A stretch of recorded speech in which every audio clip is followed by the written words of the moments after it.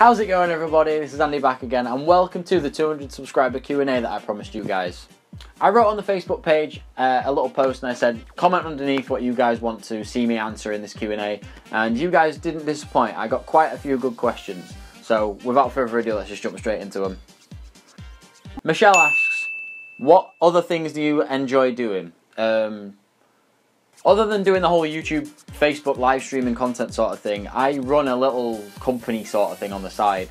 We're called Swan Song Visuals. We do like video content and stuff like that. And I've realised just I've just said like like 1400 times. I play guitar quite a bit. I have three of them. They're all up there. Um, yeah, that's pretty much it. Mazen asks, why did I start doing this and how do I feel about the success on Facebook and YouTube?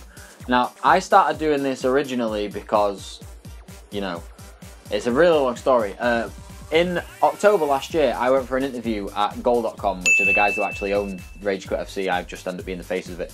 Um, it was to do the media coverage for the French league, which I was I was amazed by the fact that I actually got an interview for it. Um, and like six months down, like I said, I didn't get the job as it was. But six months down the line, I got a phone call, and it was for me to head up this whole gaming content sort of thing. And um, of course, I bit the hand off straight away. Like, it means I get to play FIFA every day. I get to speak to you guys all the time, and it makes it so I can sit in my room and do something I enjoy with that thing.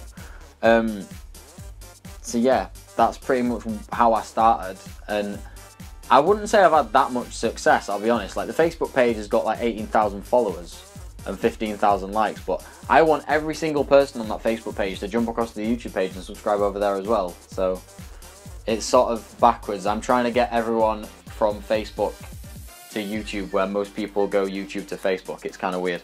But yeah, that's that's how I got started. Dyron asks, when did I first start playing FIFA? Um, I started playing FIFA on FIFA 09. I was 13, I think, like 13 years old. Um, I was one of the first people on the like in the whole world of FIFA to start playing Ultimate Team, which is why on my Ultimate Team, when you guys see it, it says FUT Founder in the little box. A lot of people sort of waited and went, mm, I don't really see the point, because originally you had to pay for Ultimate Team. So yeah, that's when I started playing FIFA, like FIFA 09. Abdullah asks, what is the thing I hate most about FIFA? Now, there's quite a few things that I hate about FIFA, I'll be honest. There's things that make my blood boil.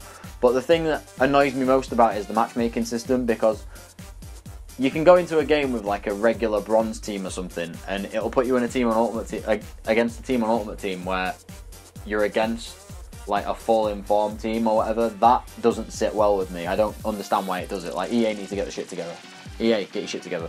Now, John asks, who was the best player I've played with on FIFA? Now, realistically, it's down to who I've enjoyed to use the most, and that would be Omar Al Somah. I've gone, I've gone on about him in multiple, in multiple streams.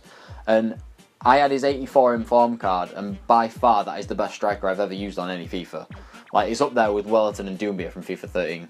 I'll be honest. If you guys want to go and pick him up, I would do. I'll do the squad builder challenge or something. Ryan asks who my favourite musician slash band is, I guess. Um, my favourite band is a band called Bring Me The Horizon. They're from a place called Sheffield. I've seen them live twice. The reason that I like them so much because they helped me through a rough patch in my life. Like, go and listen to That's the Spirit as an album. It's a brilliant album. And yeah, just head over and do it. Now, last but not least, Connor asks if Rangers or Barcelona were looking for me as a person to play for them, who would I play for? Now, realistically, I like England. Like, I like staying where I am, and if I played for Rangers, I could do that, but it'd mean I'd get to play for Barcelona. Like, that's like a once in a lifetime sort of thing. So I, I, think I'd have to choose Barcelona. Sorry, Connor. If you guys have enjoyed this video, please make sure you smash the like button, subscribe as well, share the video to all your friends. Comment down below if there's anything you'd like me to change. My Twitter feed's just here, my Instagram's in the description, and my Snapchat's just on the side. And I'll see you guys in the next video. Thank you for watching.